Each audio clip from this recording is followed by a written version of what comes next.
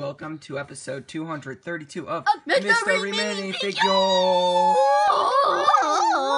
All right. And today we have probably one of my favorite minifigures of all time. What could it be? dun, dun. It is Doctor Inferno. Ah, ha, ha, ha. All right, Crafty Lou. And I'm the camera girl. he is for sure one of my favorite minifigures on it. of all time. And you can see his printing right there. It's very Let's cool. get a closer look.